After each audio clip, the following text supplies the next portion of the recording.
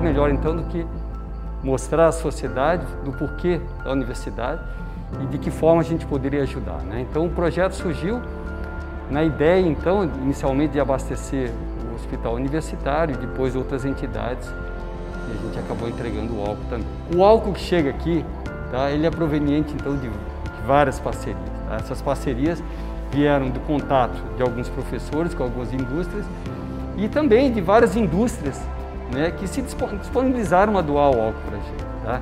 Então, é, hoje dentro dessas indústrias nós temos ex-alunos que hoje são gerentes, tá? ou mesmo os estagiários que entraram em contato com esses gerentes, que possibilitaram então a doação desse álcool ao FAO. Quando a gente recebe o álcool aqui, a gente recebe aqui de várias destilarias tá? e ele vem sobre diferentes aspectos, né?